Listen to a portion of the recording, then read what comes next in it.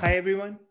I'm Ishank. Uh, I work as a software engineer in the storage team at CERN, and I'll be talking about a few of the developments which we've been working on uh, on OwnCloud Infinite Scale and Reva, which has resulted in a complementary symbiosis, which in turn has enabled us to develop a plethora of features which we've been wanting to uh, implement, as well as which has been desired by a few consumers.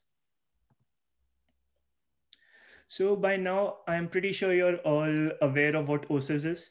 Uh, let me give you a background into Reva as well. Uh, first, let's look into why we needed it in the first place. Uh, traditionally, a lot of enterprise file sync and share systems used to have ad hoc bindings for various applications and storage backends. Uh, for example, we can have CodiMD running at CERN, and that might be tightly bound to EOS, which is our storage backend. Uh, there could be another the deployment which could have other office apps with their custom bindings. So this resulted in a fragmentation problem, uh, which made porting these applications from one deployment to the other pretty difficult. Also, uh, these integrations differ slight differ significantly across applications. So even when you want to integrate a new application, you couldn't utilize the old code because it was very specific to the older application uh, Reva looks to solve these issues by providing an interoperable middleware to which OwnCloud connects seamlessly. It has driver uh, implementations for various functionalities such as storage backends, authentication mechanisms, file sharing, uh, and applications. And adding new ones is as simple as just implementing that particular interface. And these functionalities are in turn exposed via a set of universal APIs called CS3 APIs. And we've been running Reva in production for the last three years, where it supports 30,000 users. Uh, let's go behind the scenes and look into exactly how this interoperability is provided. So you can have multiple instances of a given service type running simultaneously. And each of these instances can talk a different language and support different drivers. So for authentication mechanisms, you can have basic, bearer, and OIDC auth all running at the same time. You could have multiple storage mounts. Uh, these can include EOS, oCIS, and S3 mounts. And you can have multiple apps from editing applications to scientific notebooks. The, uh, and these applications could be OnlyOffice, Collabora, Jupyter Lab, CodiMD, and so on.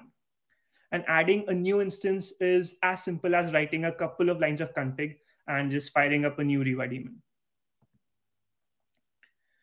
But how does Reva know where these instances run and how does it know where to redirect the appropriate requests to? So this happens via dynamic rule-based registries. So each of these uh, individual services register themselves to central registries in the gateway services and that and those gateway services are responsible for deciding which instance to forward a given user request to. For example, uh, uh, let's say you have an EOS driver running at on a particular machine, uh, which knows that it only talks to the EOS instance, which serves users whose username start with A. So we instruct Reva about this. And whenever a user request comes uh, trying to access a resource which starts with, if the username starts with A, uh, Reva knows where to redirect the request to also for authentication mechanisms, uh, let's say you have two machines, uh, both running the basic auth driver. Uh, Reva has uh, mechanisms which would allow it to, uh, di to dynamically uh, balance the load and choose either of these two machines when it gets a request of basic auth.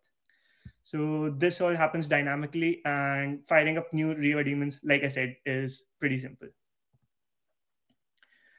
uh, let's look into how Reva fits in the oCIS ecosystem. So if you look at the diagram, uh, you can see the various uh, Reva services uh, which uh, run, and these ensure seamless functioning of the whole system. So the Reva components are the ones present in yellow. Uh, in the front end, we have the data gateway HTTP service through which the actual data transfer happens. The OCS layer, which allows you to manipulate shares the OCM service, uh, OCM stands for Open Cloud Mesh, and this facilitates federated sharing and resource access. And there's a web dash service to which web, web and desktop clients connect for various uh, storage operations. Uh, then you can have multiple auth providers, multiple storage backends, uh, the user share provider, the public share provider, and all of these can be easily configured to suit your requirements. Uh, now I would like to give you a 10,000 foot view of some of the recent developments we've been making to the Reva and oCIS symbiosis. So let's start with the most recent feature that we've been working on, which is application integration. So the aim of this integration is to reach a stage where you can have a Pandora's box of applications at your fingertips as easily as possible. From office apps such as OnlyOffice, Collabora, Office 365, to scientific notebooks operated via Jupyter Hub, to Markdown editing via CodiMD, LaTeX projects, and so on and so forth. A colleague of mine, Jan Maria, has also worked on integrating Root.js with oCIS, which allows visualizing and making sense out of physics data. So if you missed this presentation from the workshop yesterday, please do check it out once it's uploaded. And you can just bring your own app. We made it ridiculously easy to write bindings for new applications. Uh, now, how have how have we made this integration so easy? You might ask. So it's due to a uniform protocol for editing apps called WOPI and its implementation, which we which we've developed here at CERN. Uh, WOPI stands for Web Application Open Platform Interface, and like I mentioned, it provides a universal set of APIs to connect to a range of editing apps. We already have a few apps at production uh, in production at CERNBOX, and are working actively on integrating new ones. Uh, the new ones include Etherpad, and in the future, maybe even LaTeX IDEs. Uh, we've implemented multi-log support so that people can collaborate uh, on these documents via different types of clients. And we've also made the discovery and registration of supported extensions and MIME types extremely dynamic. Uh, let's go over the architecture of this integration in brief. So here in this particular scenario, we have three instances of the Reva app provider, all of the, them running the same code, but they've been configured to talk to different apps. So uh, one talks to OnlyOffice, one to CodiMD, and the third to Collabora. Now, to discover the various uh, extensions that uh, these apps support, we need to make a call to the hosting discovery URL, which returns to us a dictionary of the various extensions which it supports. For CodiMD, this is not needed because we know that it supports Markdown and TXT files. So once this discovery happens, uh, these apps individually register themselves to the app registry. Uh, the app registry is responsible for knowing where to redirect particular requests to, and also for populating the list of various extensions to be provided to the user. So the user can know that they can create new files of these particular types. Now, once this registration happens, we can just start uh, uh, editing documents. And this editing happens via the WOPI server. So all of these app provider instances would talk to WOPI server, which would in turn talk to, to the individual apps and provide you a URL or a URL object, in fact, uh, to which you can just connect from your browser or from any other client and just seamlessly edit documents. Uh, let's move on to the second feature now, RBAC, RBAC mechanisms. So we've recently introduced this concept to Reva. RBAC or role-based access control allows us to generate and operate around fine-grained permissions. Uh, this wasn't available before. And this provides a much more secure and efficient sync and share system. So let's look into a scenario which demonstrates why this was needed in the first place. Uh, let's say you create a public share for a particular file and you forward that uh, link to a wide audience. Now, when the audience want, when, someone from the audience wants to access that file, they send a request to the public files endpoint uh, and they do a prop find. So the HTTP WebDAV service tries to see if uh, that particular share exists or not. So once you provide the ID of this public share, it makes a call to the share manager to see if that share exists. Uh, now we have a microservices based architecture. So the share manager is a totally separate service. It just looks at looks the ID up in its database, and if it finds the ID, it returns the share object. So now the HTTP layer knows that okay, this share actually exists and it was created by the user Alice. So it talks to the authentication manager to generate a token for this user Alice. And the authentication manager knows that this is the only way to authorize public shares. So it gives the whole uh, token through which you can access Alice's whole namespace. Uh, so uh, the security threat which this uh, mechanism poses is pretty obvious. Uh, we are exposing the whole token which allows access uh, to the share creator's whole namespace. And if this is being misused by an attacker, they can just manipulate resources, delete files, access content which they shouldn't have uh, access to. Uh, this and in addition to the security threats, uh, there are various limitations which prevented us from addressing some potential use cases. So let's say you want to grant access to a particular folder to a third-party app. Uh, that app may speak WebDAV, or let's say you just want to run some script on some particular namespace. There was no way to do this previously without exposing your password or Reva access token, uh, which had complete permissions. And there's another really popular use case of negative permissions. So let's say you've shared a resource with a large group, but you want to deny access to one member of the group. This couldn't have been done before.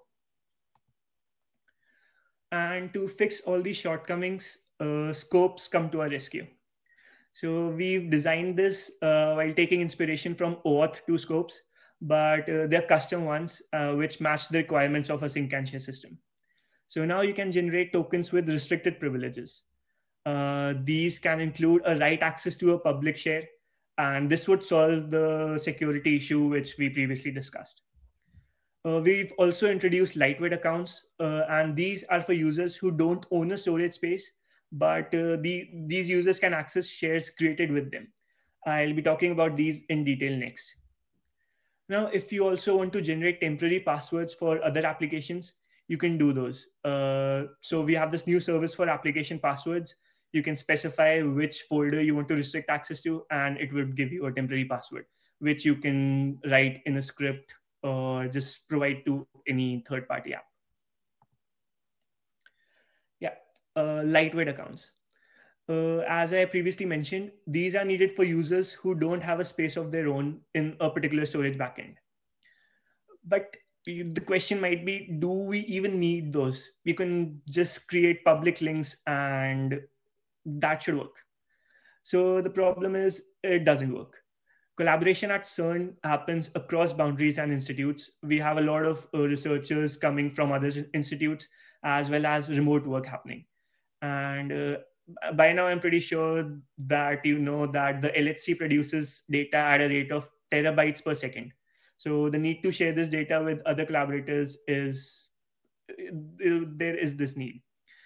People did used to use public links as a workaround for this, but it introduced a couple of problems. It was not scalable. How many public links can you create, and how do you keep a track of this?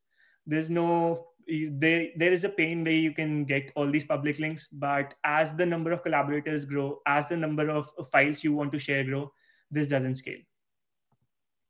So the solution to this issue is, like I said, lightweight accounts. So we allow end users to create lightweight accounts, and this can happen via Edugain or any social logins. So if your Keycloak or your identity management supports this, then Reva works with that. So you can sign up using your Facebook account, your, Gmail account, or even your university account.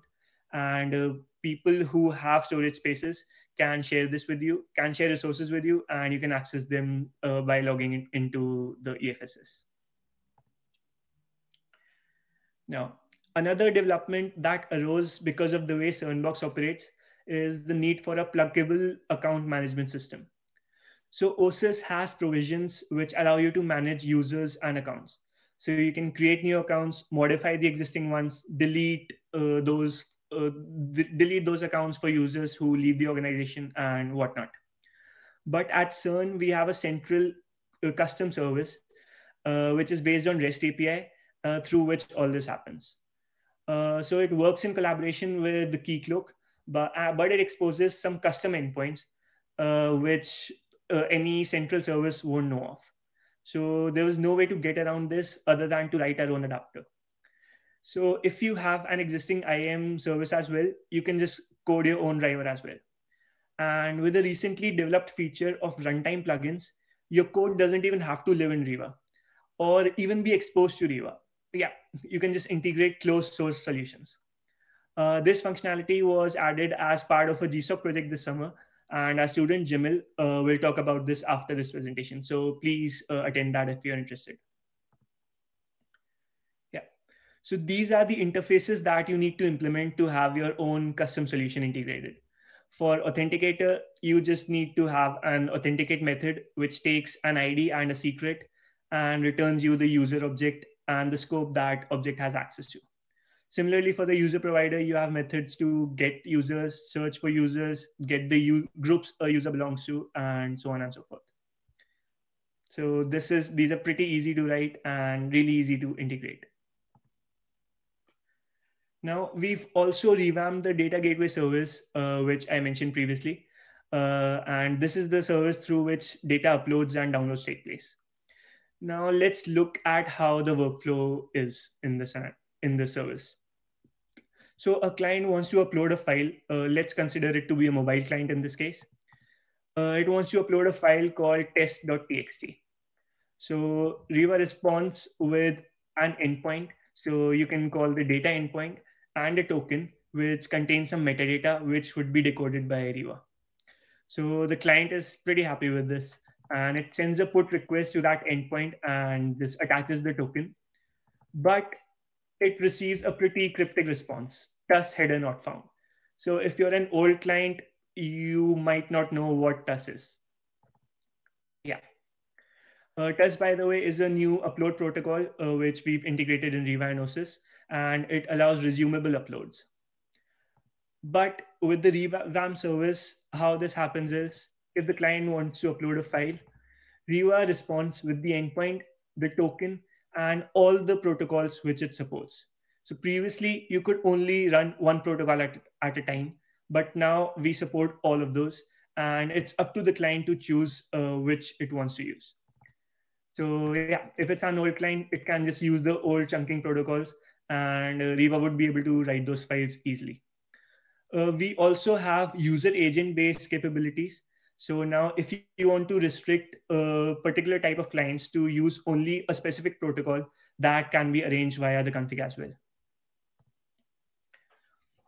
And yeah, uh, let's look at Science Mesh now. So this is a, a, European project which aims at enabling collaboration across deployments and EFSSs. So Kuba from CERNBOX uh, talked about this in detail earlier today. His presentation was titled Science Mesh in a nutshell. So please check that out if you're interested. And as part of this project, we have a lot new integrations uh, inside of ownCloud and oCIS. So we now have integrated rclone, which is a tool to sync across various storage backends. So it supports WebDAV. So and now it's integrated with uh, Reva. So you can just sync your two deployments, or you can even sync various clouds. You can sync your own cloud deployment with, let's say, AWS or Google Cloud Provider. Uh, we've also integrated Indico, which is an event management app developed at CERN uh, and also Rucio. Rucio is another data transfer tool uh, which works in the worldwide computing grid at CERN, at CERN. And this was integrated as part of a GSOC project uh, this summer. Now, one thing uh, which uh, we would like to improve on is adding arbitrary storage and app providers. So at CERNBOX, uh, we have nine sharded EOS storage instances and we have six plus applications and we're adding more. Uh, but adding new uh, providers is not as straightforward in oCIS as it is in Reva. In Reva, you just have to add a new config file. Uh, now, the workaround for this is uh, you spawn separate Reva instances and you specify the registry rules inside of oCIS. And then oCIS would just know where to redirect these requests to but uh, we are working on adding this functionality inside oCIS itself, so you don't need to spawn these instances separately. And once this is done, it would make the life of sysadmins even more easier.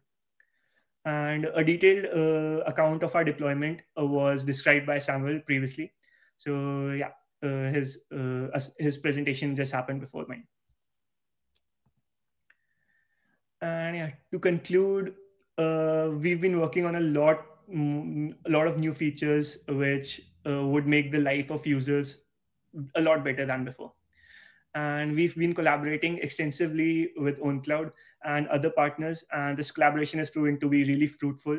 Uh, we we're both developing features which would be of extremely extremely large use to all our consumers.